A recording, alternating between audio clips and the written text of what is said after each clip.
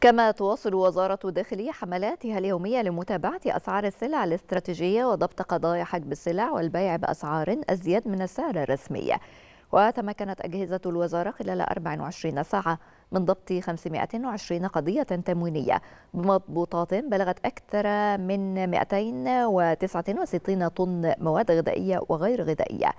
وفي مجالي حجب السلع الاستراتيجية والاستيلاء على السلع المدعومة.